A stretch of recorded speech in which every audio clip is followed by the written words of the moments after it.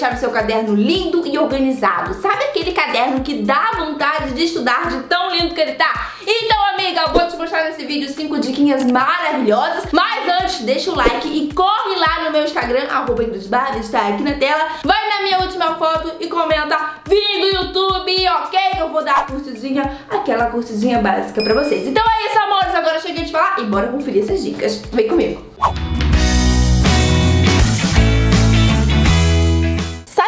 Caderno super fofinho, mas quando você abre não tem nada. As folhas são super simples. Mas calma, amiga, que tem jeito, tá? Vamos pegar um CD para usar de molde e eu vou usar essa caneta que tem a ponta mais fininha. É a Nankin 03 para quem quiser saber, mas você pode usar a que tiver em casa, sem problema. Só fazer um círculo aberto, não precisa fechar. E agora, com uma caneta rosa de ponta fina, eu vou começar a desenhar folhas desse jeito que vocês estão vendo. Mas usem a criatividade de de vocês, tá? Podem usar outro tipo de caneta, até outra cor, enfim. A dica é você ir aumentando as folhas aos poucos até o final.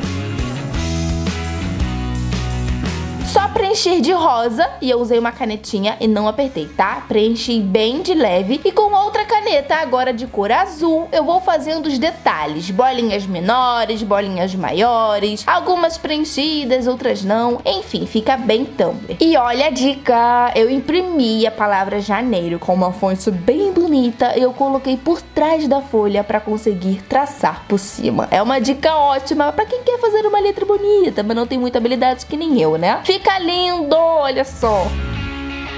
E depois eu dei uma engrossada na letra para igualar a fonte, tá? E pronto, quem olha até pensa que eu sei fazer letra desenhada assim, né, meu bem?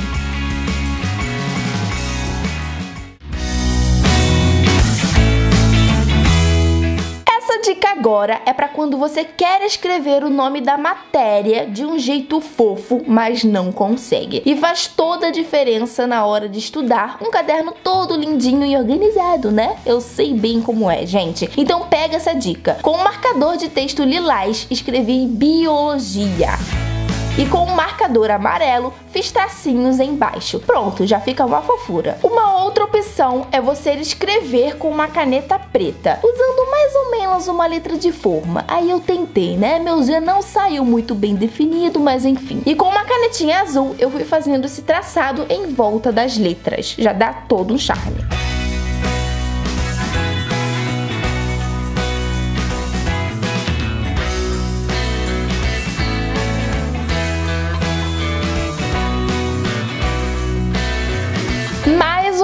Opção para vocês é usar uma régua para fazer essa tag super simples. Ainda usei o lápis de cor preto para fazer um sombreado. Fica muito fofo. E aí você pode escrever o nome da matéria, em qual aula você está, e assim fica bem mais fácil na hora de estudar para a prova, hein?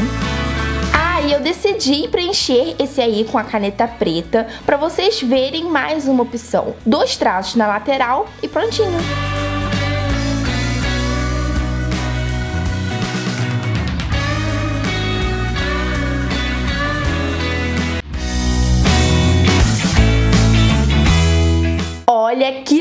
Legal essa dica que eu peguei no Pinterest. Só imprimir a palavra Google, colocar por trás da folha para conseguir traçar, né? E com uma caneta preta ir escrevendo as letras. É muito fácil. E aí a gente vai pintar. Sabemos que cada letra do Google tem uma cor, né? Começando com azul, depois de vermelho, aí vem um amarelo, azul novamente no outro G, né? Os dois G são azuis, verde e para terminar vermelho. Prontinho. E com a régua e uma caneta preta, nós vamos fazer a caixinha de pesquisa do Google. Olha só que demais! E não podemos esquecer da lupa, né? Só repetir pulando uma linha até o final da folha.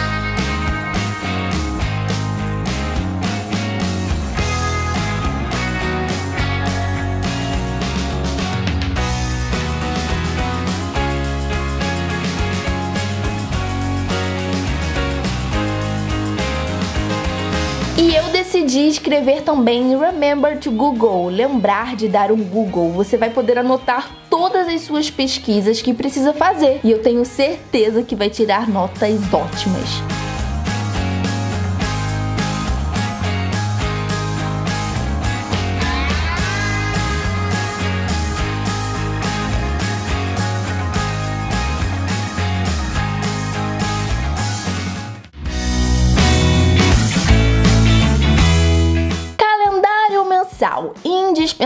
Para ter uma organização. E eu tô usando aquela dica, né? Vocês sabem, escrevendo por cima usando uma caneta preta nanquim, mas você pode escrever com a caneta que você tiver. Depois eu engrossei os traços para ficar mais parecido com a fonte original.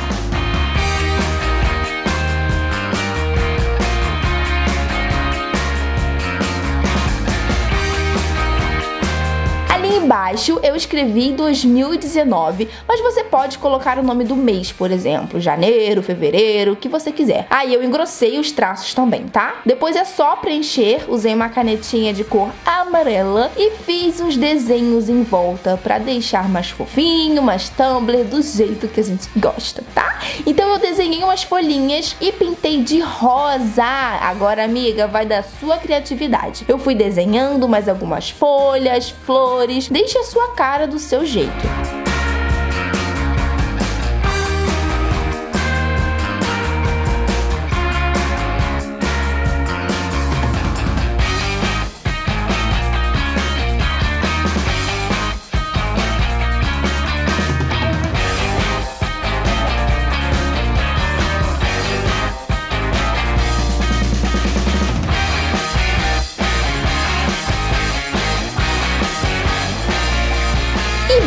Calendário. Escrevi as letras da semana: domingo, segunda, terça, quarta, quinta, sexta e sábado. E os dias do mês. Que nesse aí só tem até 28, porque é calendário do mês de fevereiro, né? E aí eu escrevi depois fevereiro ali no cantinho para identificar o mês.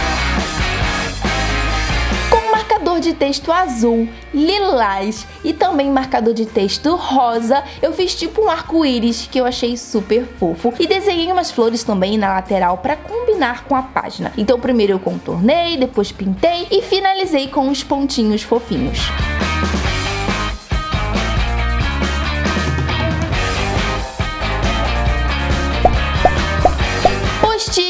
Eu amo! É ótimo para anotar qualquer coisa e você ainda pode deixar ele mais fofo ainda. Só precisamos de régua e caneta preta. Depois é só anotar algo importante que vai rolar no mês, alguma prova, o que você quiser.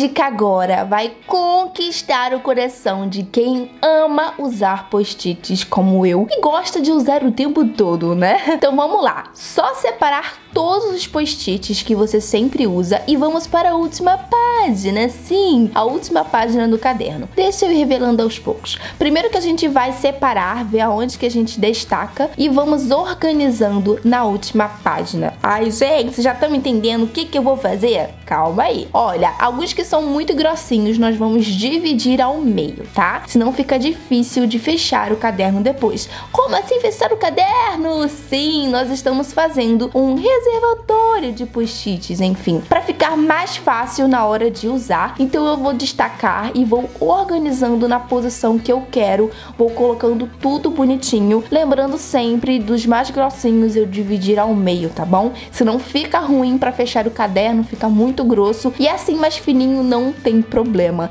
Então eu vou colando aí com cola branca só na pontinha de cima, tá? Eu vou colando todos as setinhas. Você pode colocar outros tipos de post-its, outros formatos. Eu só tenho esses aí, mas se eu pudesse eu comprava todos de estrela, de nuvem, de coração.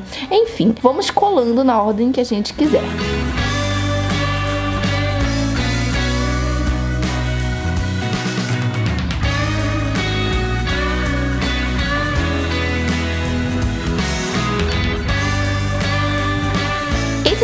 Tem papelzinho por baixo, você pode colocar a cola no centro, não tem problema. Porque quando você divide, uma parte fica com esse papelzinho e a outra parte não. Então a parte que não ficar com papelzinho, você coloca a cola só na pontinha de cima. Esses aí não tem problema, você pode colar bem no meio que não vai soltar e vai ficar ali sempre prontinho para quando você precisar usar, tá? Essa dica é maravilhosa, eu me apaixonei quando eu vi também no Pinterest e trouxe aqui para vocês.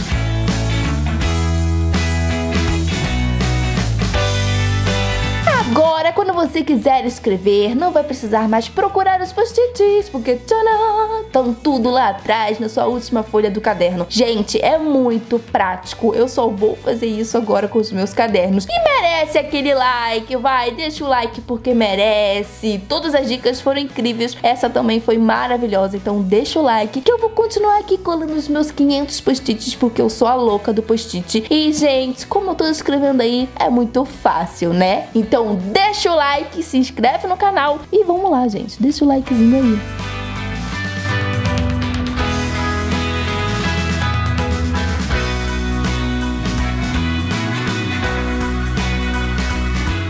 Então é isso, meus amores. Não vai embora se deixar seu like. Se você já deixou seu joinha, um beijo no seu coração e comenta aqui embaixo qual dica vocês mais gostaram. Se foi a 1, a 2, a 3, a 4 ou a 5, tá bom? Compartilha esse vídeo com as amigas e é isso. Beijo e até a próxima. Tchau.